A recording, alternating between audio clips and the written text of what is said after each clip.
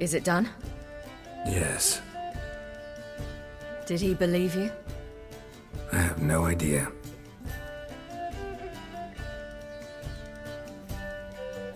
For the cockatrice. And we've a new contract. It won't pay much, but I think it worth the toil. You've been busy.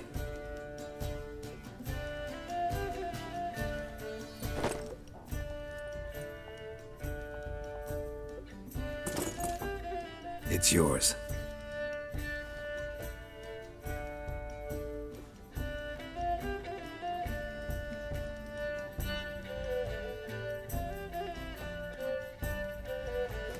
A witch's sword. Swallow. Ooh, beautiful. May I? Not here. You'll have ample opportunity soon enough, Witcher.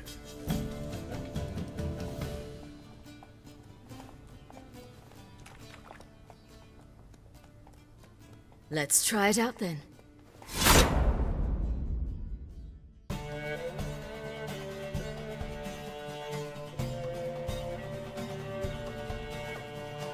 The Third Northern War ended. The invader from the south achieved complete victory.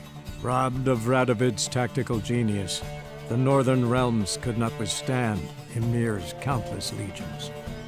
Black banners appeared over Novigrad and all Redania.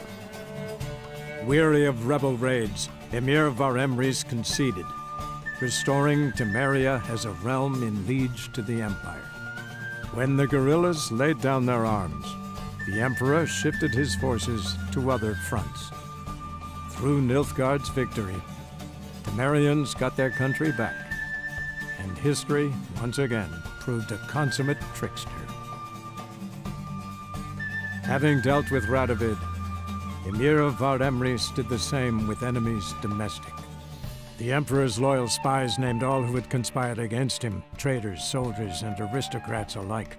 Though their mutiny had only been a murky plan, the Emperor showed no mercy, as was his wont.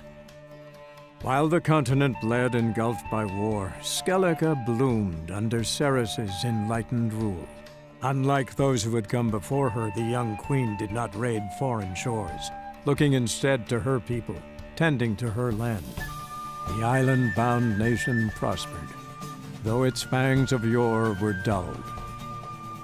Cirilla, Fiona, Elen Riannon, heir to Nilfgaard's throne, chose the life of a witcher on the path.